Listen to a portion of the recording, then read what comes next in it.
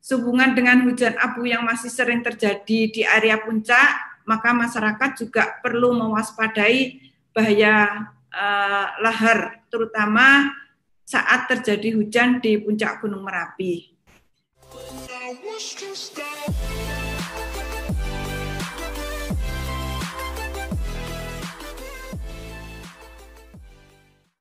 Assalamualaikum warahmatullahi wabarakatuh. Uh, kami akan menginformasikan tentang aktivitas Gunung Merapi saat ini. Jadi sejak tanggal 4 Januari, Gunung Merapi uh, telah memasuki fase erupsi yang bersifat efusif, yang kita kenal dengan sebagai yang kita kenal juga sebagai tipe Merapi, yaitu erupsi dengan aktivitas berupa pertumbuhan kubah lava, kemudian disertai dengan guguran lava dan awan panas guguran. Pada hari ini, Rabu tanggal 27 uh, Januari, pukul 00 sampai dengan tadi pukul 14 waktu Indonesia Barat, Gunung Merapi telah meluncurkan sebanyak 36 kali awan panas guguran dengan jarak luncur antara 500 sampai 3000 meter ke arah barat daya atau ke hulu kali kerasak dan kali boyong. Ya. Awan panas ini tercatat di seismogram dengan amplitude antara 15 sampai dengan 60 mm dan durasi 83 sampai 197 detik. Sejumlah lokasi melaporkan kejadian hujan abu dengan intensitas tipis seperti di beberapa desa di Kecamatan Taman Sari, Kabupaten Boyolali dan Boyolali Kota.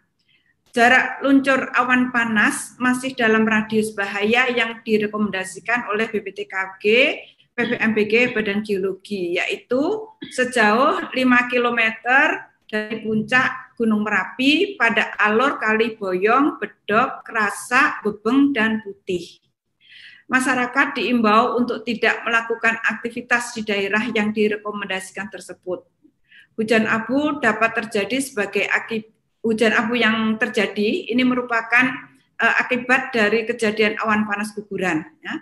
Untuk itu masyarakat diharapkan untuk mengantisipasi gangguan akibat abu vulkanik seperti uh, menggunakan masker, uh, menggunakan kacamata, dan menutup uh, sumber air.